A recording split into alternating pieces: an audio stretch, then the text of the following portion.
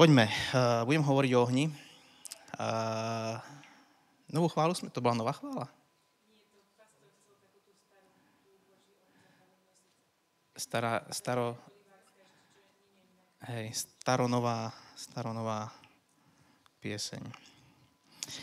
Pokračujeme v podstate o, o ohni. Uh, Adio niečo začal, ja budem pokračovať chvíľočku, lebo ma poprosil, že, by, že ak nepríde, tak po, povedz niečo o, uh, aby som povedal niečo o ohni. Aďo chcel pokračovať o ohni.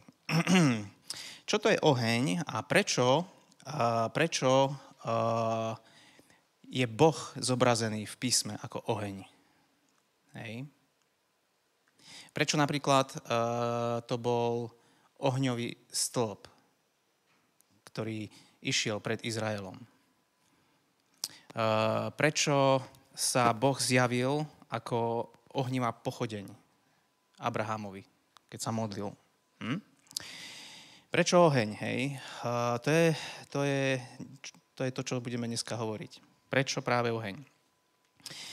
Oheň uh, v hebrejčine znamená, že to, čo je skonzumované. A vieme, že začalo to Noáchovou obeťou v Genesis 8. kapitole. Potom uh, bola Abrahamová obeť, Dávidová obeť, Eliášová obeť, Šalamúnová obeť. Na všetky zostúpil Boží oheň. Na všetky zostúpil Boží oheň, Božia, Božia moc, Božia sila, Božia sláva. Ale prečo oheň? Hej, uh, v Deuteronomiu 4.24 je napísané, lebo hospodín, tvoj boh, je stravujúci oheň, žiarlivý boh. A Pavol E, túto vec opakuje v Židom 12. kapitole. A tak keďže príjmame neotrasiteľné kráľovstvo, zachovávajme si milosť a pomocou nej slúžme Bohu s úctou a bázňou, aby sme sa mu páčili. Veď náš Boh je stravujúci oheň. Z úctou a bázňou, vidíš, sú tam dve, e, dve slová, ktoré sú veľmi blízko, úzko späté. Um, je čas, aby sa aj do církvy navrátila bázeň Božia. Ja si to myslím. Hej. A... Boh je stravujúci oheň. Čiže my máme slúžiť, máme si zachovať milosť, samozrejme, v svojom srdci. A človek by povedal proste, že, že keď milosť, tak potom aj lásku. Ale nie, tu hovorí že máme slúžiť s úctou Bohu a s bázňou, aby sme sa mu páčili. Veď náš Boh je stravujúci oheň. Um, prečo teda, hej, oheň? Oheň v prvom rade hovorí o čistote. Čistota, vieš, že keď chceš niečo dobre prečistiť, tak to dáš do ohňa. Železo napríklad, hej. Aj požiar celkom dobre vyčistí veci. Zase tam po niekoľkých rokoch môžeš niečo postaviť druhé.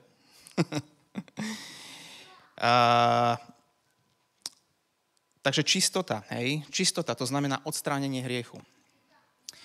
Oheň prečistuje, priatelia. A my potrebujeme oheň. Otázka, či chceš tento oheň. Uh, chceš tento oheň?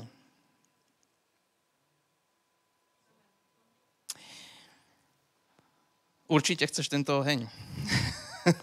lebo, lebo oheň páli, priatelia. Keď pastor hovoril o, o tej soli, že každý bude osolený ohňom. Čo to má spoločné s čím? Hej? Každý bude osolený ohňom. Každý. Každý. Otázka je len jedna. Že či ty budeš osolený tu na zemi ohňom, alebo potom neskôr lebo tam budú tiež ľudia solení. Ohňom. Ale už trošku dlhšie. A... Ďalšia vec, hej. Oheň. Oheň, oheň nie je veľmi príjemná vec. Hej. My a... Samozrejme, že na, na, na jednej strane človek si musí udržať tú, tú, uh, tú vrúcnú, dobrú, láskavú a milostivú dušu, hej? A, ale potrebuje človek mať aj oheň. Oheň vo svojom vnútri. A s ohňom neradno sa zahrávať. Budeme to dneska, vidieť, uh, budeme to dneska vidieť v niekoľkých príbehoch. Oheň páli. A soľ, soľ je tiež zvláštna. Sol je nepríjemná. Neviem, prečo pán nepovedal, že... Uh, a ja si možno aj viem. Hej. pán nepovedal, že, že ste cukrom tohto sveta. Že? My nie sme cukor tohto sveta, my sme soľ. A poviem ti proste, jak tak kráčam kresťanským životom, tak som zistil proste, že my sme, e, my sme e, trňom v pete nieko, niektorým ľuďom. Sme, to je proste ako keď niekomu narežeš nejakú ránku a nasypeš tam trošku soli. Štípe to strašne. uh, sol je nepríjemná. A pritom musíš mať obrovskú lásku k ľuďom, nie? A, a je to komplikované potom. Lebo musíš milovať a zároveň musíš byť nepríjemnou soľou. a, sol je konzervant. Hej. Konzervuje. Kedy si to tak robili proste, že to dobre nasolili, nemali chladničku, poriadne nasolili, vybavené, nie? A, robili si slaninku stále. že počul som jeden vtip. A ide, ide sliepka a, s prasiatkom a zhovárajú sa proste. Majú, majú radi svojho, svojho, a, a, svojho pána a hovoria si, ty musíme sa mu nejako vďačiť. Spravíme mu dobré raňajky. Ja mu dám, uh, sliepka hovorí, ja mu dám vajíčko a ty mu dáš slaninku. a to prasietko hovorí, že počkaj, to je nejaké nefér. Ty mu dáš dar, Vieš, aký je rozdiel medzi darom a, a, a obeťou. A, a ja mu dám obeť. Hej? To je rozdiel medzi, medzi darom a obeťou. Sliepku to nebude nejako bolieť. A, v každom prípade Boží oheň zostupoval vždy na, nie na dar, ale na obeď. Na obeď. Takže čistota, odstránenie hriechu. Po druhé, čo symbolizuje oheň v písme, je vášenia túžba.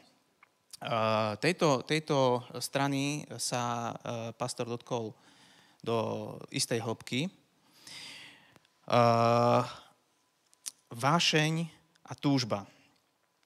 Tretia, tretia vlastnosť ohňa je, že dokáže sa šíriť. Dokáže sa šíriť.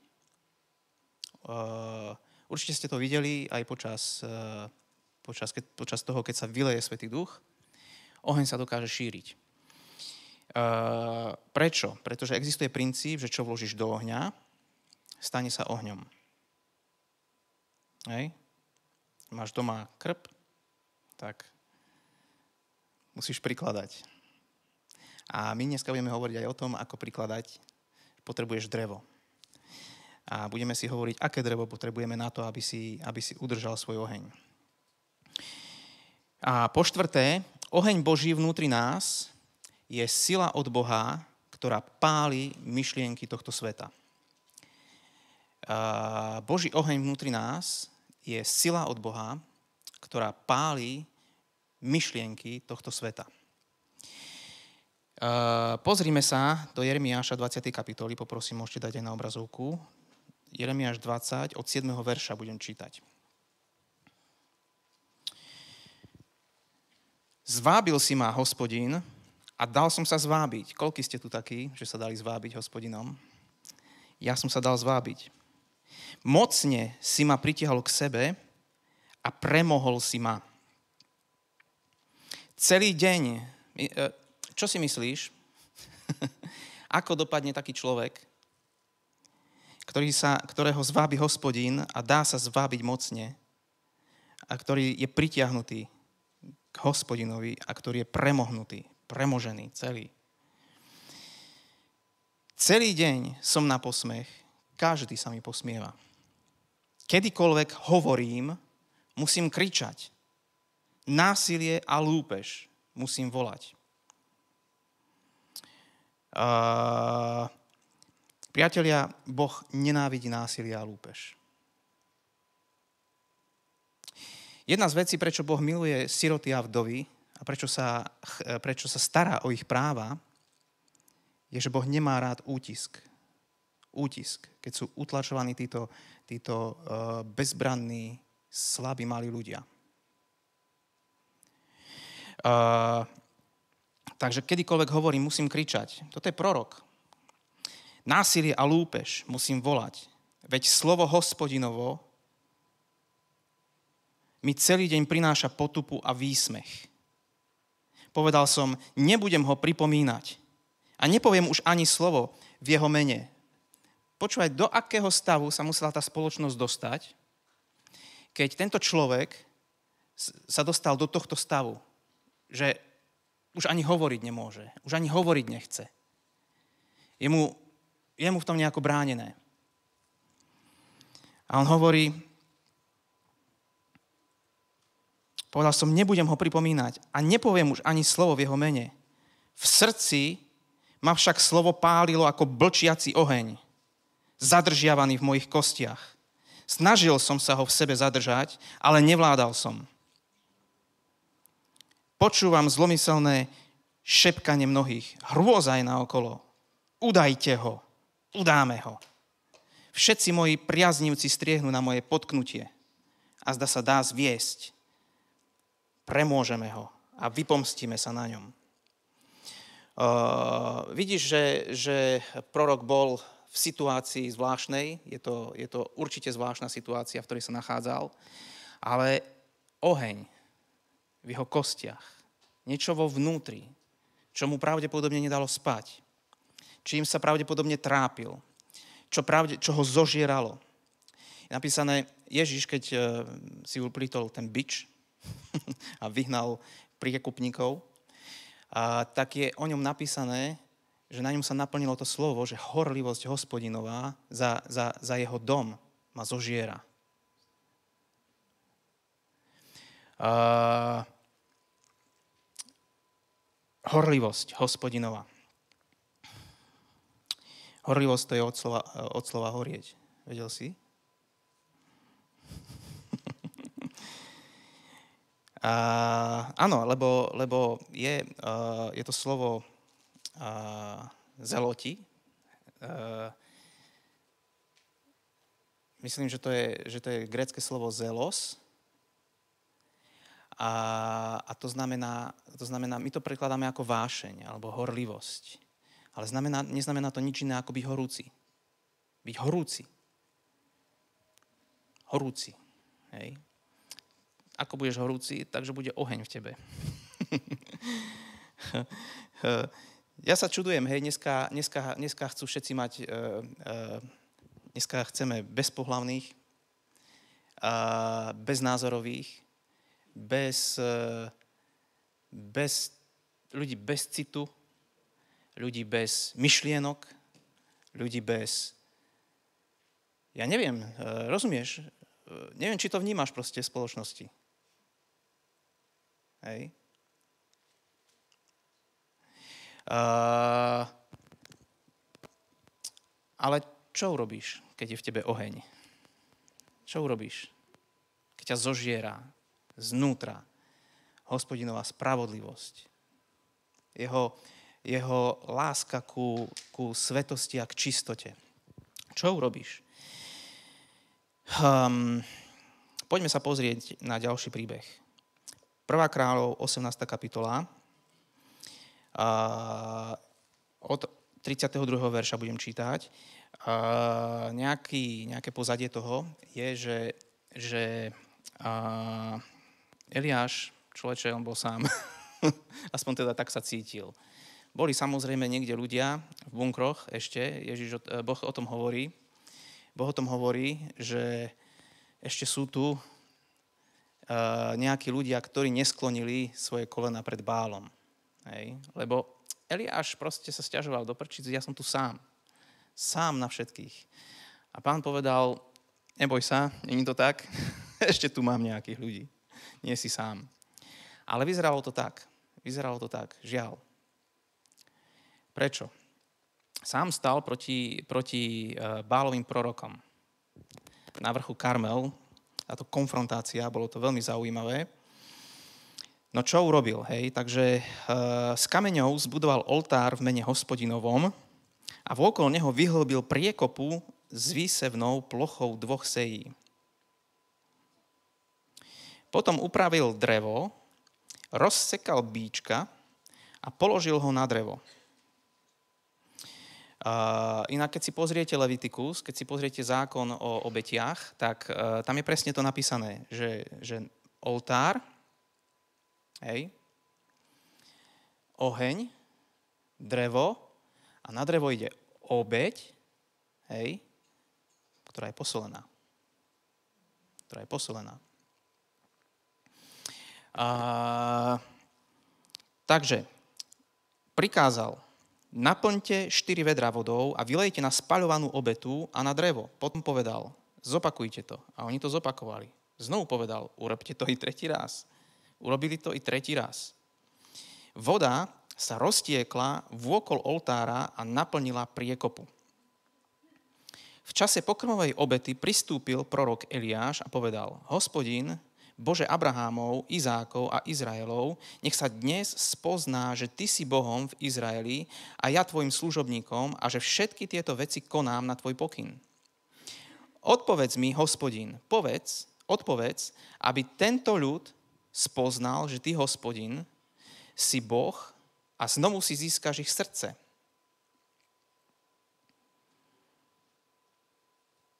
Rozmýšľam proste, hej, že, že ako uh, či je možné získať si srdce ľudí a ako. Aj toto je jeden zo spôsobov. A Ananiáš a Zafira. Hej, to je tiež jeden zo spôsobov, ako si Boh získal srdce ľudí, nie? a je to zvláštne. V tom spadol hospodinov oheň, strávil spaľovanú obetu, drevo, kamene, i prach a vodu v priekope vysušil. No miesto, iný preklad hovorí, že to zlízal. A keď to všetko ľud uzrel, padol na tvár a vyznával, hospodin je Boh, hospodin je Boh. Zrazu. hospodin bol Boh aj, aj predtým, aj potom, stále. Hospodin sa nemení. Um, potom na to prišli samozrejme, ale už bolo neskoro, neviem, či viete, ako to pokračuje.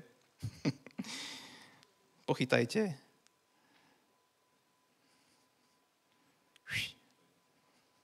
Bol to debakel tam pre niekoho.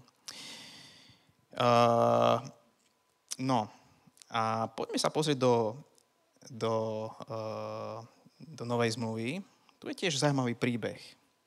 Keď sa naplňali dni, keď mal byť povýšený, pevne sa rozhodol ísť do Jeruzalema, to je Lukáš 9.51, keď sa naplňali dni, keď mal byť povýšený Ježíš, viete, ako mal byť povýšený?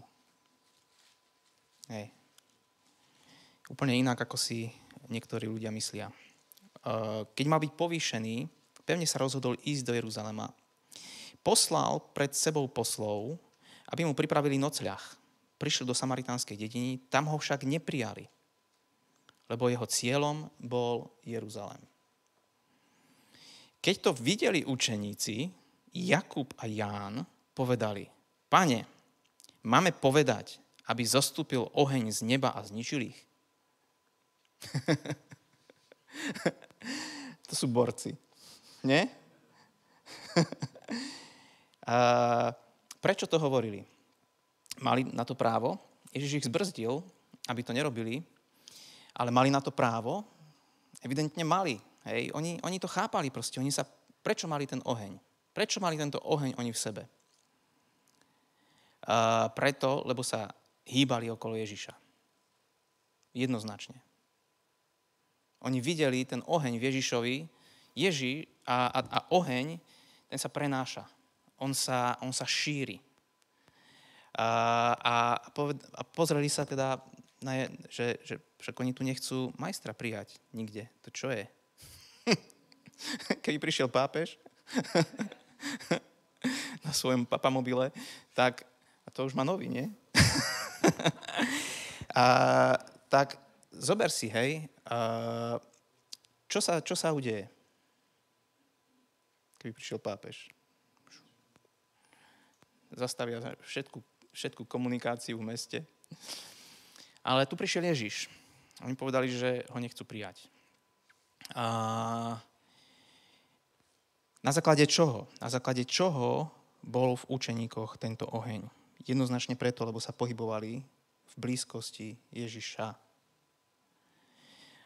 Samozrejme, Ježiš ich zbrzdil kvôli tomu, lebo jeho cieľ bol Jeruzalém e, a nebol čas na to, aby tieto veci riešili.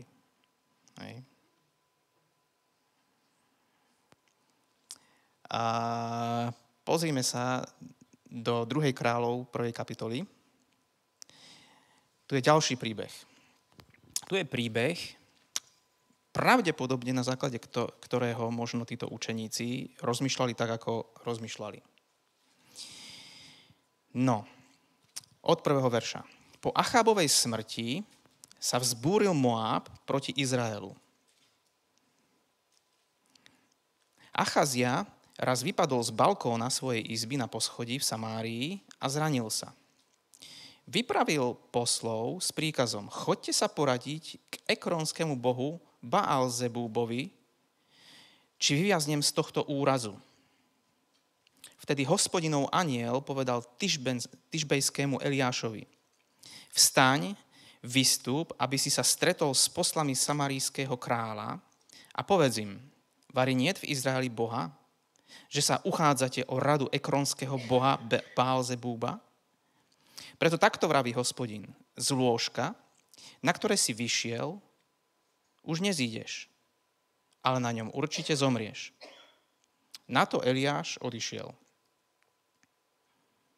E, jednoduché, nie? A Michal, to je, to je stará zmluva. Vieš, my dneska potrebujeme veľmi veľa tú, tú milosť. Uh, ja by som si fakt nechcel zamieňať milosť s cukrom. Pozrime, čítajme ďalej. A keď sa poslovia vrátili, spýtal sa ich král. Prečo ste už prišli späť? Čo ste tu tak skoro?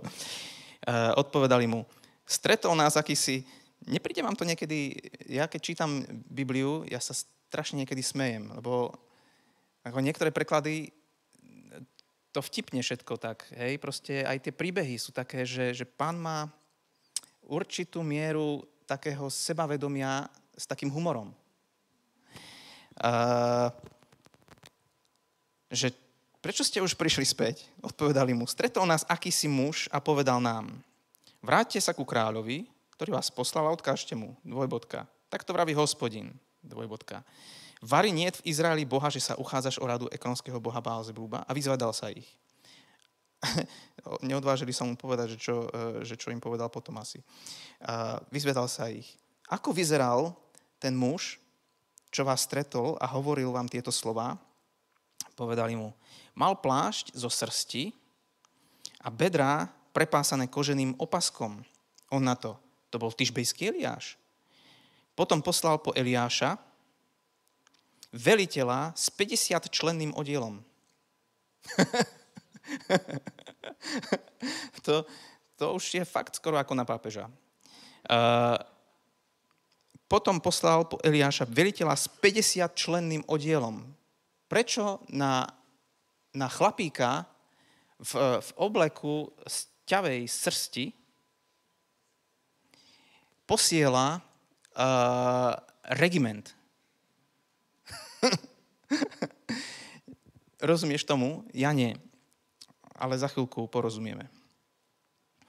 Keď prišiel k nemu, práve sedel na končiari vrchu. Povedal mu, Boží muž, na kráľov rozkaz ziť dolu.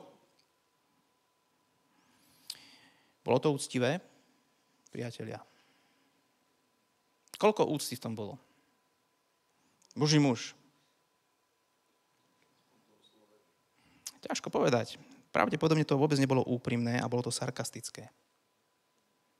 Nebolo to úprimné a bolo to brutálne sarkastické. Král ti povedal. Rozumieš? Boží muž, král ti povedal. Uh, tu v tomto príbehu vidíme, že čo je dôležitejšie. Kto je dôležitejší? Kto je dôležitejší? Uh, ak niekto nepochopí, že kto v tomto prípade je dôležitejší, či král, alebo tento Boží muž, tak potom nepochopí ten zvyšok toho príbehu. To je, myslím si, že to je najpodstatnejšia vec, ktorú tu treba porozumieť. Ako sa postavili títo, eh, ako sa postavil tento kapitán voči Božiemu mužovi? Boží muž. Niektorí si myslia, že, že to, keď to vyslovil, že Boží muž, že pravdepodobne v tom nebolo ani špetko úprimnosti. Lebo keby to tak bolo, tak by bol ako ten tretí. A Eliáš odpovedal veliteľovi 50 členného oddielu. Ak som Boží muž, nech spadne oheň z neba a pohltí teba i tvoj 50 členný oddiel. V tom spadol z neba oheň a pohltil ho i s oddielom. Poslal, král, poslal po neho zase iného veliteľa s 50 členným oddielom. Ten mu povedal, Boží muž, na kráľov rozkaz i hneď ziť dolu. Uh, už sa blížia Vianoce a bude, tá, bude ten film zase v, v telkách. Uh, hovorím ti, poď dolu. Hovorím ti, poď nahoru. Nie? uh, včera, keď som to čítal, tak som rozmýšľal, že prečo sa Eliáš postavil na, na vrch? Aby mal dobrú podívanú. Nie? a, oni, a oni ho volali proste, že poď dolu. Král, uh, král proste myslel si, že on môže, on môže robiť všetko, lebo je král. Hej? A, a teraz, áno, iného veliteľa s 50 členným oddielom. Na kráľov rozkaz i hneď, i hneď zíď dolu. Eliáš však odpovedal, ak som Boží muž, nech oheň spadne z neba a pohltí ťa i s oddielom. v tom, niektoré filmy sa dajú pozerať viackrát.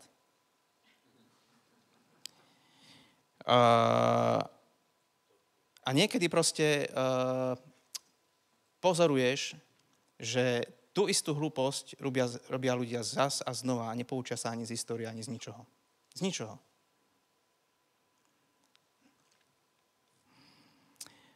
A to nebola taká dávna história ani dokonca.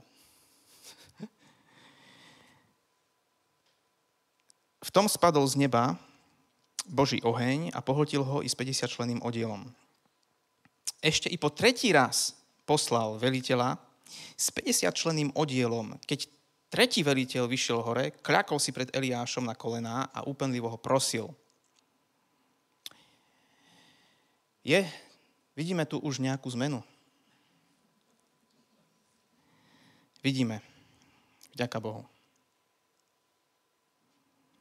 Keď tretí veliteľ vyšiel hore, kľakol si pred Eliášom, že vidieš, že vyšiel hore, pod nahoru, on vyšiel hore, klakol si pred Eliášom na kolená a úpenlivo ho prosil, Boží muž, ber prosím ohľad na môj život i na životy týchto 50 služobníkov.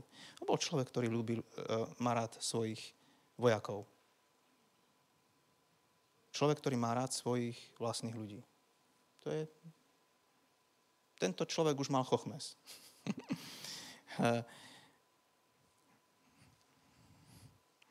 král hľadal uh, kapitána s 50 Je tu nejaký dobrovoľník? uh, nikto sa nehlásil.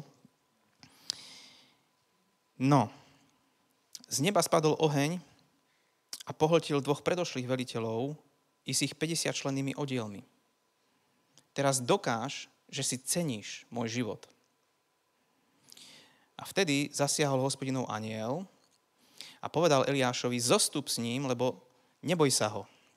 Vstal teda a šiel s ním ku kráľovi. Uh, je široká škála ohňov. Uh, vedci zistili, že napríklad v našom tele prebieha, prebiehajú záblesky nejaké. Hej elektrika. Normálne, že my sme nejaký stroj. Zvláštne. Ale veľmi sofistikovaný stroj, ktorý ešte nejaký človek nevymyslel. Uh, celý vesmír funguje na týchto veciach. Ja to niekedy nerozumiem, lebo študoval som to 4 roky, ale ako to je, že, že elektrón ide jedným smerom a prúd tečie opačným? Som to nikdy nepochopil. Um, ale proste je to tak. Neviem, Boh to tak vymyslel a funguje to. Elektrón ide jedným smerom a prúd opačným.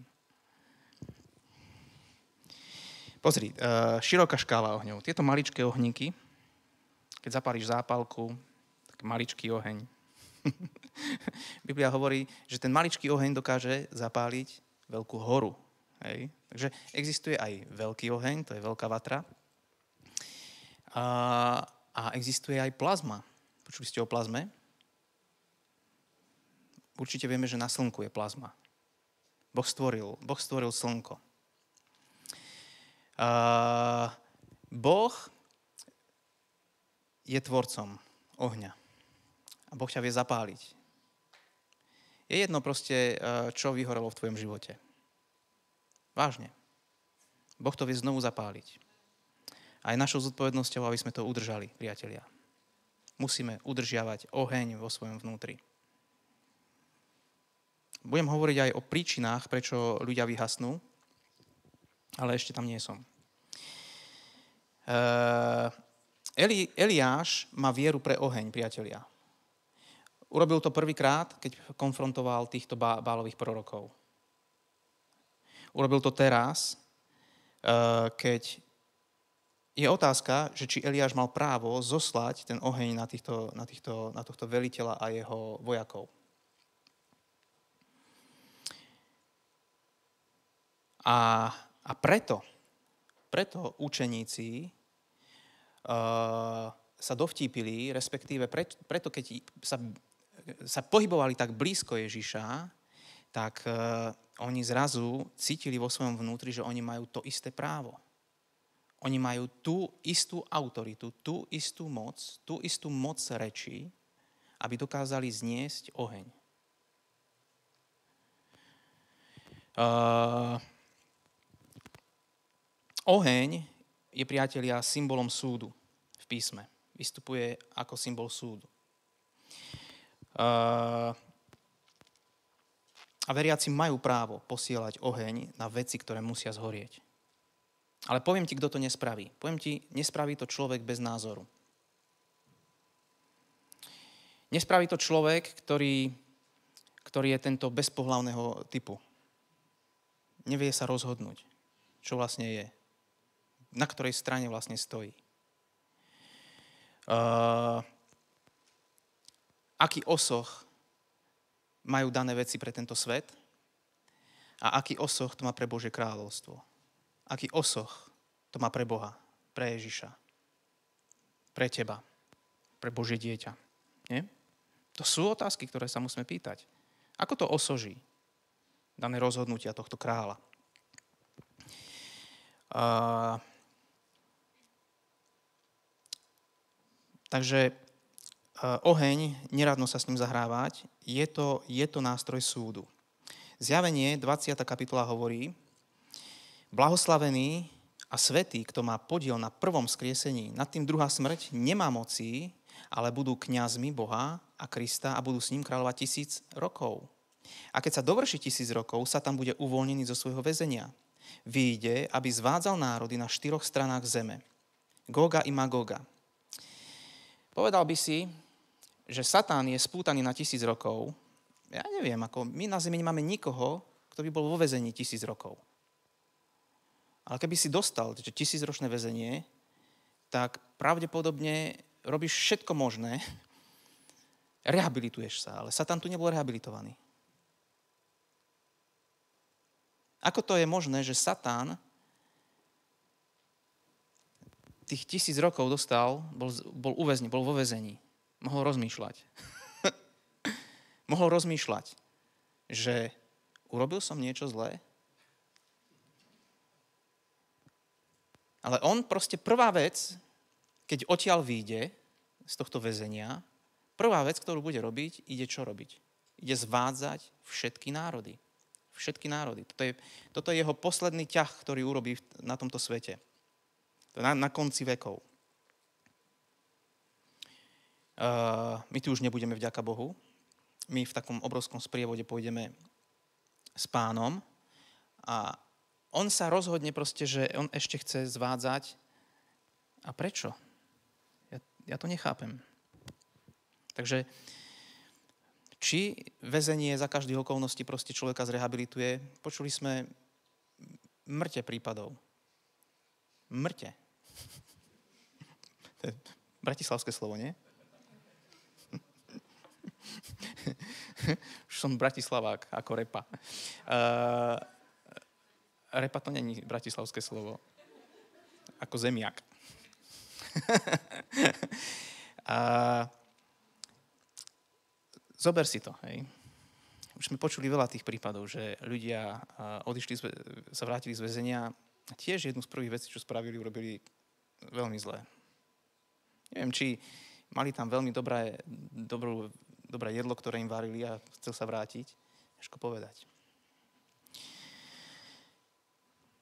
Ale toto isté s diablom, priatelia.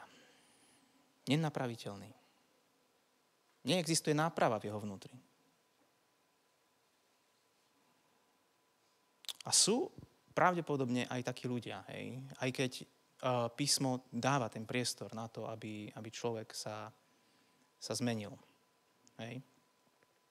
Ale chvíľku rozmýšľam nad jednou vecou. Proste. Ja neviem porozumieť a je mi strašne ľúto, proste, keď to vidím a keď to čítam. Dvojročné dieťa uh, v lietadle. Naštartované motory. Ale dieťa si odmieta nasadiť rúško. Ja, ja nerozumiem, oni zastavili to lietadlo. Oni normálne zastavili to lietadlo a poslali ich preč. Dvojročné dieťa. Mne je jedno, kto to bol. Neviem, kto to bol. Zamestnanec uh, tej leteckej spoločnosti. Mne je jedno, kto to bol. Ten človek nebol dobrý. Či to bola žena, či to bol muž. Toto bol človek, ktorý poslúcha nezmyselné príkazy a nariadenia a nespochybní ich. A toto bol najväčší problém nacistov v, v, v nacistickom Nemecku.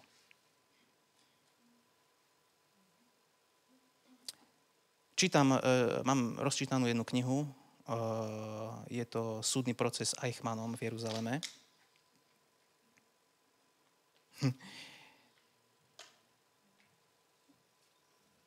tá kniha ti zjaví toľko pravd, človeče. Toľko, práv, toľko pravd zjaví takáto kniha, hej. O tom, že, že aký je človek. Uh, ale poviem ti proste, sú aj zlí ľudia. Nie proste, že, že, že, že psychicky narušení, alebo niečo, že, že proste potrebujeme ich liečiť tabletkami Neproste sú vyslovene, že sú zlí. A tento človek napríklad, Eichmann, on mal usporiadanú rodinu, keď ho prišli zbaliť. Prišli ho, skrýval sa v Argentíne a on mal usporiadanú rodinu. Mal deti, slušne vychované, vynikajúcu manželku. Mali sa veľmi radi. Je to zvláštne. Je to zvláštne. To vybie poistky ľuďom. A táto žena, ktorá opisuje ten súdny proces, na ktorom bola, ona hovorí, že, že, že veľa ľudí si myslí, že toto proste boli zvieratá, že to neboli ľudia. Že oni boli... A, a že, že, že Eichmana, Eichmana koľko, 12 psychiatrov, alebo koľko ho bolo vypočúvať, povedali, že, že Eichmann je zdravší ako my. Úplne zdravý človek. Jednu jedinú vec robil. Posluchal príkazy. A nikdy ich nespochybnil. Nikdy. Uh, je to tragédia. Hej. Takže vidíš, diabol si nedal povedať, hej, vyjde, aby zvádzal národy na štyroch stranách zeme, Goga i Magoga, aby ich zhromaždil do boja. Je ich toľko ako morského piesku. Vyšli na šíru zem a obklúčili tábor svetých i milované mesto. Zostúpil však oheň z neba a strávil ich. A žili šťastne, až kým nepomreli. Nie je to krásne? Priatelia, uh, určitým veciam bude musieť urobiť Boh koniec. Ďaká Bohu, že, že náš Boh je oheň stravujúci. Ja chcem tohto Boha. Lebo, lebo jeho, jeho vnútro horí pre, pre, pre dobré veci. Preto, aby, pre, pretože miluje ľudí. Uh, prečo, prečo Boh dal človeku na prvom mieste. Čo dal prvé človeku? Otázka pre vás do plena. Skúste mi povedať. Čo dal to prvé, prvé človeku, to najdôležitejšie? Není nič iné pravdepodobne dôležitejšie ako toto, čo mu dal.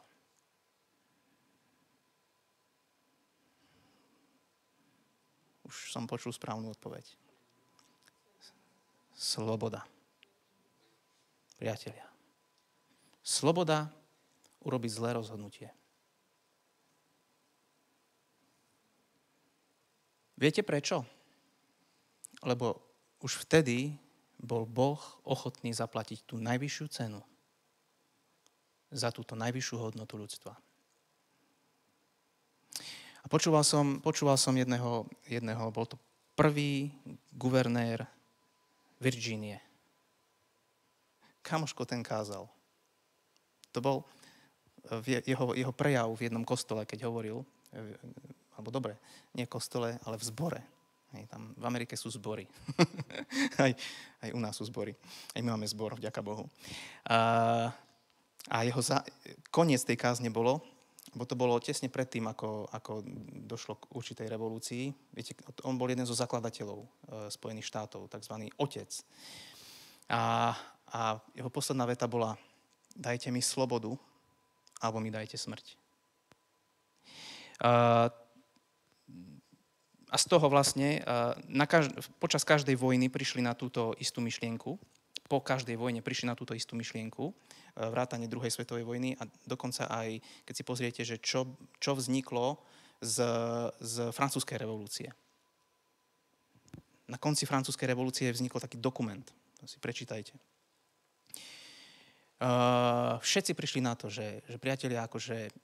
Uh, no my, my, my to možno až tak nechápeme, hej. Uh, teraz v Amerike bol ten deň, uh, ako, sa, ako to volajú, uh, oslavu, oslavujú vtedy... Uh, nie, nie, nie, nie. Oslavujú vtedy vojakov. Vojakov, respektíve, respektíve tých, ktorí sa vrátili z vojny. Veteránov. Deň veteránov bol. A Uh, tento Morris, uh, Morris, tento pastor Morris, nie, tak on mal, on mal v zbore také, také poďakovanie. Povedal, že, že postavte sa všetci, čo ste veteráni. Desiatky ľudí sa tam postavilo. A všetci im tlieskali. Všetci. A my to tu nemáme na Slovensku. My nemáme ten, ten, tento, uh, tento takýto, um, takýto pocit takúto vďačnosť voči týmto ľuďom, lebo čo robili? Oni bojovali za našu slobodu, priatelia. A preto, preto si ju obrovsky vážili. Solženicím povedal jednu vec, hej, že, že uh,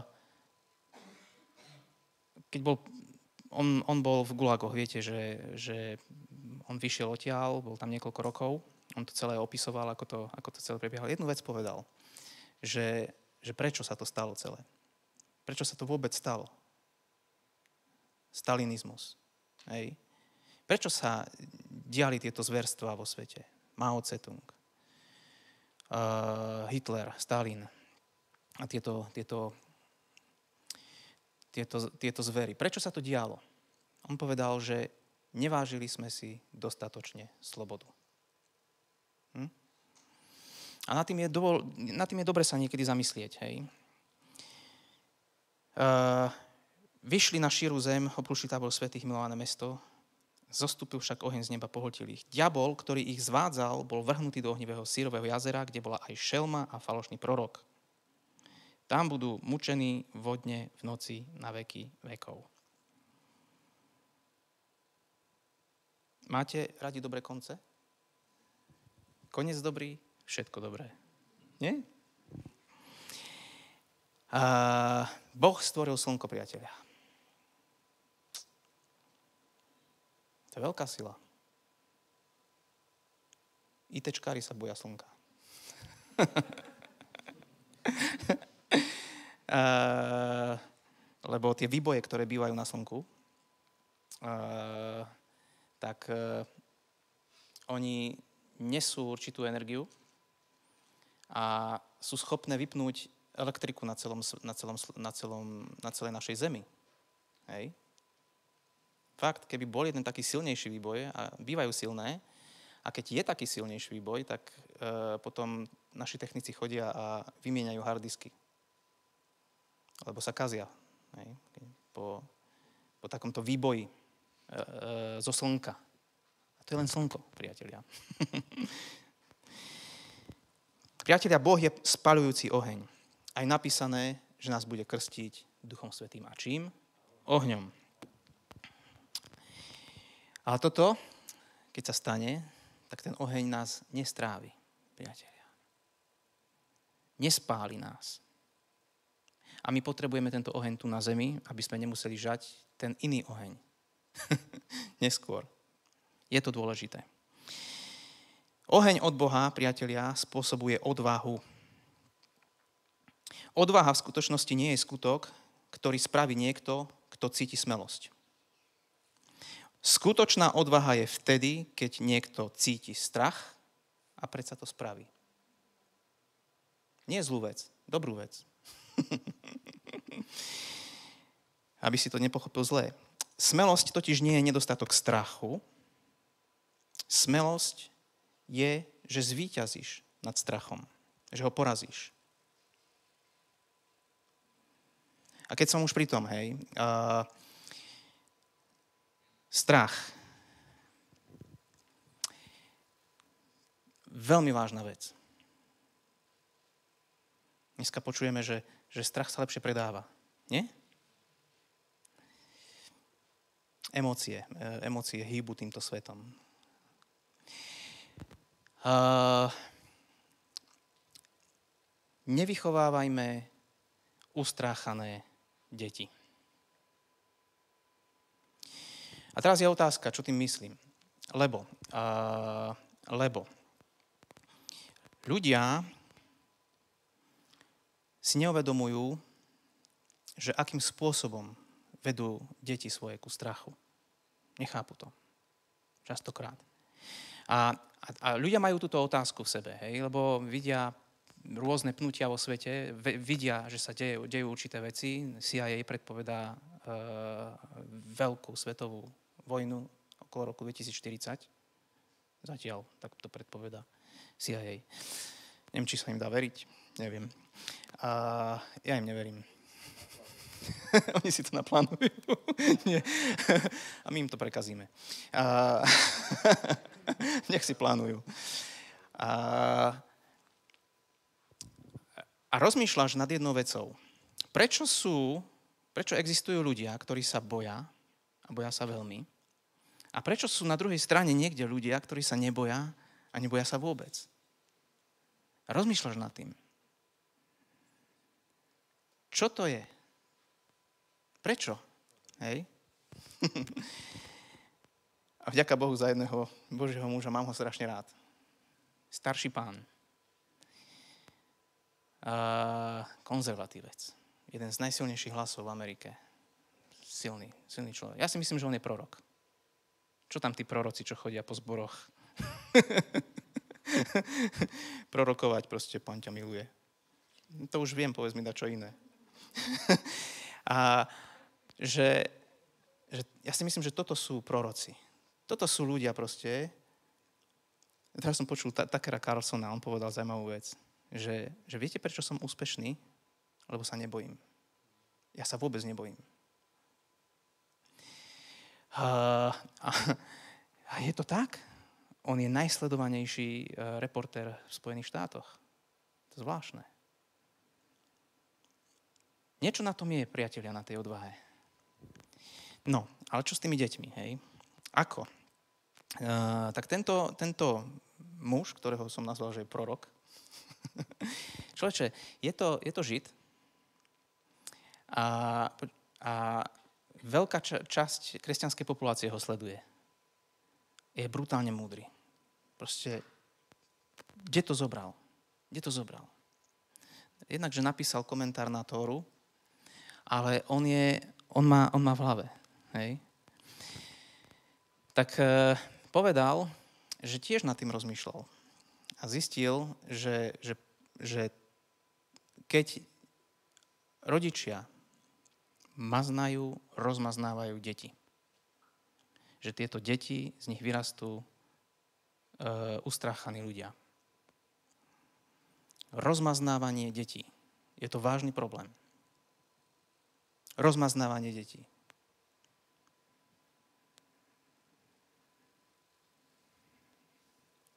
Hm? Ja som to ešte nepočul, preto vidím, že aj ty si prekvapený. Pravdepodobne si to ani ty ešte nepočul. Rozmaznávanie detí je to vážny problém. Uh, hovorí deťom, že hlavne si dávaj na seba pozor. Bezpečie je tá najdôležitejšia vec v tvojom živote. A potom čo je najlepšie? Nie? Že bezpečie, to je to najdôležitejšie. Takže čo? Nie? Ochrániť, zavrieť, nepustiť von. Bo vonku, vonku je nebezpečný svet, priatelia. Nebezpečný. Číhajú tam číhajú tam vrahovia, násilníci, malé kvapôčky s takými trňami dookola. Ah, mm, nevychovávajme pokakané deti. Naše deti musia byť odvážne a silné. Musia sa popasovať e, s vecami, ktoré sú sa okolo nich. My nebudeme mať bojazlivé deti, priatelia. Žiadne maznanie. Viete, čo je maznanie? Uh, prečo, hej? Pozrime sa do písma. Niekoľko, niekoľko vecí. Nikde v písme, vieš, uh, mnohé, mnohé matky, a teraz proste počul som takú, takú vetu, hej, že ľudia sú príliš citliví na svoje deti. Pozor na to. Dobre, tak sú. A čo? My tú citlivosť musíme nejako zlomiť. To není dobré. To není, že pozitívne. Ľudia sú citliví na svoje deti. A čo? Uh, jedna, jedna vec. Niektorí, niektoré matky možno s tým majú väčší problém ako otcovia. Otec to je, to je taký... Keď je už zle, tak zvyši hlas zhrubne mu hlas e, v ústach a povie a vtedy všetci stoja, aj manželka. no, ale uh, zober si proste, hej, že uh, či je táto myšlienka v poriadku. E, takzvaná, takzvaná dokonalá láska voči dieťaťu. Alebo, alebo bezpodmienečná láska voči dieťaťu. Áno, ale dokedy? Dokedy? Dokedy? Počuli ste ten, ten termín, že príliš starostlivé matky. To sú tzv. tie matky, ktoré požierajú svoje vlastné deti. Uh, psychológovia toto riešia, uh, že nikde v písme nevidíš napísané o tejto bezpodmienečnej lásky k svojim deťom. Nikde. Vidíš inú vec. Uh, človek sa má bať dvoch až troch. Troch sa má bať. Poprvom, na, na, prvé, na prvom mieste má sa bať Boha, na druhom mieste má sa bať svojej matky a má sa bať svojho otca. A to je presné poradie. To je presné poradie, priatelia. V prvom rade matky, až potom otca.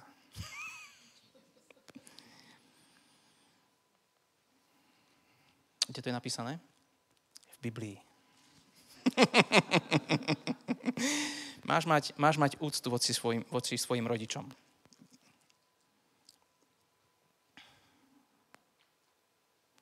Hej?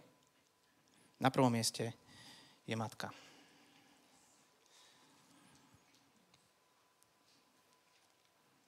Uh, rodičia totiž skazili, uh, už je veľa hodín, že? Rodičia totiž skazili svoje, mnohokrát skazia svoje deti. Uh, cieľom, cieľom rodičov nie je proste vychovať deti, ako sa hovorí, ako vo vatičke. Vatička. O vatičke to poznáte, nie? To je, to je rozmaznávanie dieťaťa, priatelia. A poviem ti, bezpečie, bezpečie nedávaj deťom ako, ako tú najdôležitejšiu vlastnosť. Ako oni potom vylezú do tohto sveta?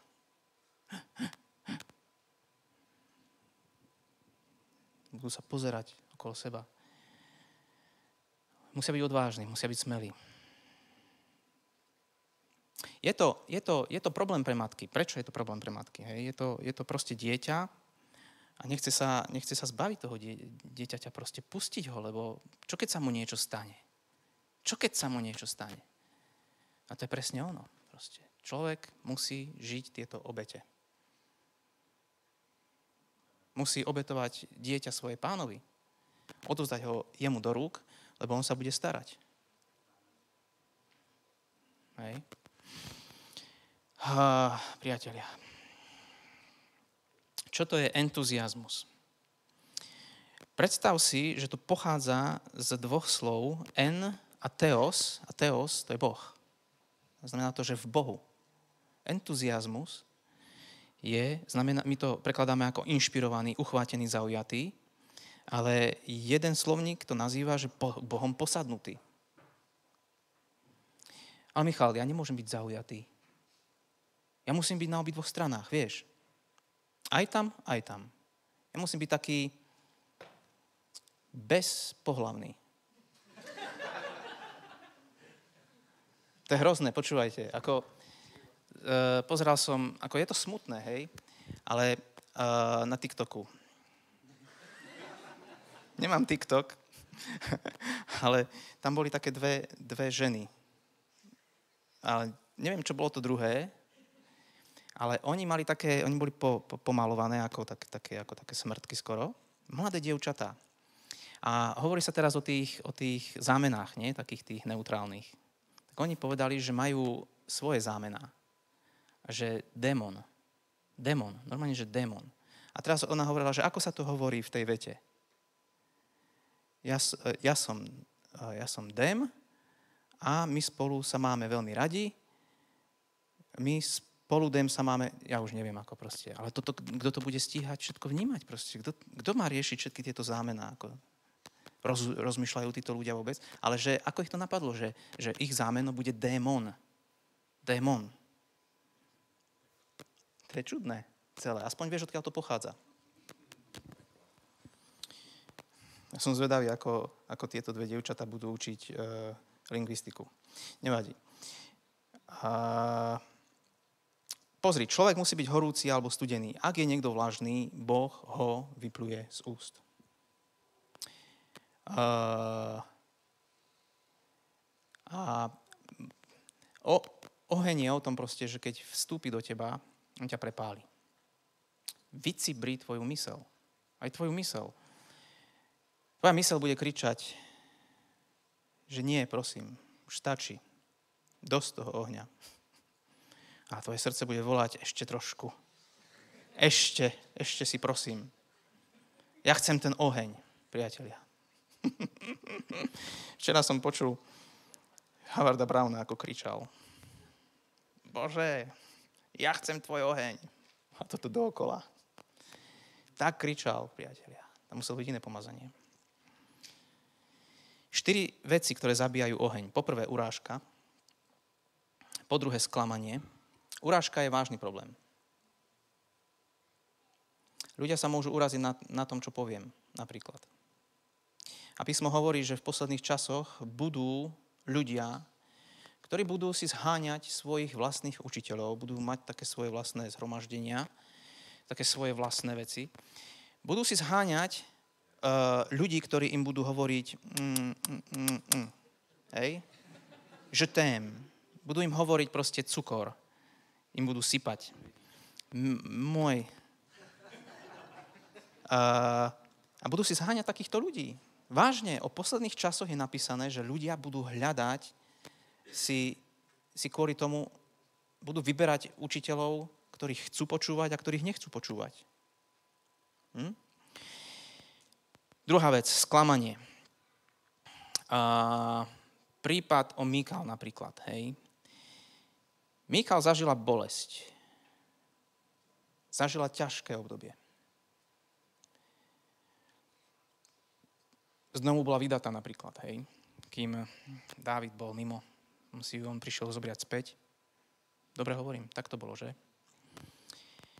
Potom ona stála v okne to je čudné, hej, lebo sú takí kresťania, ktorí stoja v okne a pozorujú všetko. A posudzujú. Hej. David tam išiel a tancoval, nadšený, šťastný. A sú takí kresťania, ktorí sú e, tí, čo stoja v okne. Pozr- pozerajú sa, aha, aha, aha. Ten, ten čo tu tak beha, to by nemal. Alebo že, aha, no dobré, prečo táto chvála? Mne sa táto chvála nepáči a, a stoja v tomto okne a posudzujú veci. Myslia si, že toto je ich úloha. Mikal zl- nedopadla dobre. Hej? Ona pohrdla, pohrdla e, týmto. A, a prišla o deti, že? Stala sa neplodnou. Mohla mať deti, mohla sa tešiť zo života. Uh, tretia vec, zanepráznenosť.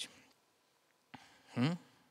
Ľudia ničia svoje zdravie, aby získali viac peňazí a potom míňajú viac peňazí na opravu svojho zdravia. Je to tak? Naozaj. Zanepráznenosť. Po štvrté, výhovorky.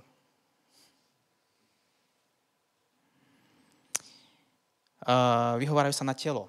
Telo, hej. Viete to telo, moja telesnosť, vieš, ja musím brousovať po tých stránkach. Ja, mu, ja to musím robiť, vieš, to, respektíve nie ja, ale to telo. Uh, ja nemôžem ísť na ulicu kázať evanelium. Prší. Uh, nie? Náhodou by som smokol. Priatelia, uh, ja mám telo, ty máš telo, Apoštol Pavol mal telo.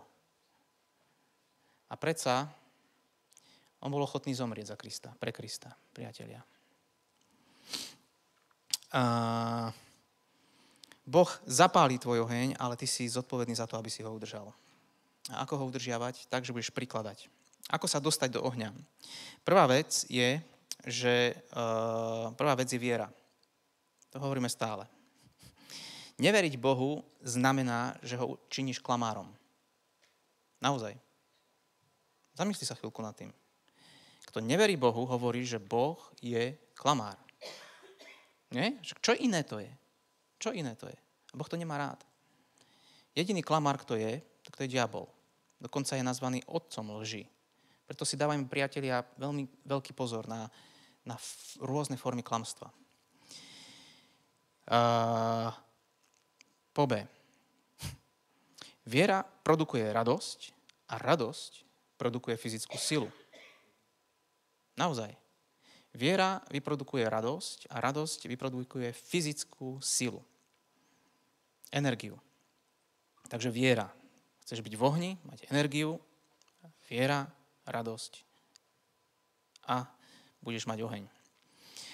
Láska je druhá vec. Dokonalá láska vyháňa strach. Uh, Pavol miloval Boha a jeho hodnoty viac ako svoj život. A bola to práve táto motivujúca sila lásky, ktorá ho preniesla cez všetko. Po tretie, súcit s neveriacimi. Uh, jednak to, čo som čítal, veľký súd, to nás musí, to nás musí, keď čítaš o tom veľkom súde, ktorý príde na tento svet, to v tebe musí zapáliť oheň voči týmto strateným ľuďom. A chcem ti povedať, proste musíš prehodnotiť dôvody, prečo kážeš evanelium. Musíš to prehodnotiť. Chceš si budovať nejaké svoje impérium? Neviem. Čo? Prečo to robíš? Ak je to súcit voči týmto ľuďom, je to dobré. Amen. Amen. Musíme to robiť, priatelia. Um, Takže ako udržať tento oheň? Potrebuješ tri dreva. Poprvé modlitba. A to si musíme uvedomiť, hej, že modlitba je silná vec. Prosím vás, chodievajme na modlitby. Teraz tu ešte prebiehajú tie alfa kurzy, ale musíme chodiť na modlitby.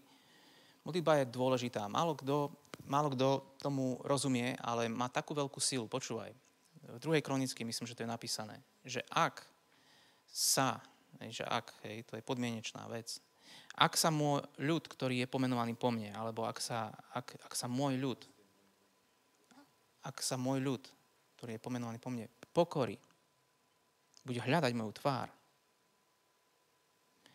tak tohto vypočuje Boh z nebies. A čo urobí? Uzdraví celú zem. Chceme uzdravenie zeme? Chceme. Musíme sa modliť a musíme sa podriadiť Bohu. Takže prvé drevo, ktoré musíš prihadzovať do ohňa, je modlitba. Druhé drevo, ktoré potrebuješ prihadzovať do, do ohňa, je pôst. Uh, nespoliehaj sa len na tie pôsty, ktoré sa vyhlásia uh, celozborovo.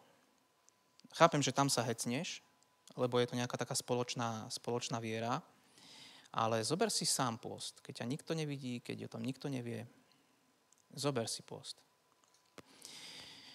Uh, postili sa pre štyri dôvody. Uh, dva dôvody boli veľmi silné v starej zmluve, kvôli dobývaniu a kvôli kalamitám. Keď potrebovali dobiť, zaujať nejakú zem, tak sa postili a zase, keď hrozili nejaké kalamity, tak si roztrhli svoje rúcho a postili sa. V Novej zmluve vidíme ešte dve ďalšie, dva ďalšie dôvody, prečo sa je dôležité postiť. To je Božie povolanie a spojenie s Bohom. Spojenie s Bohom.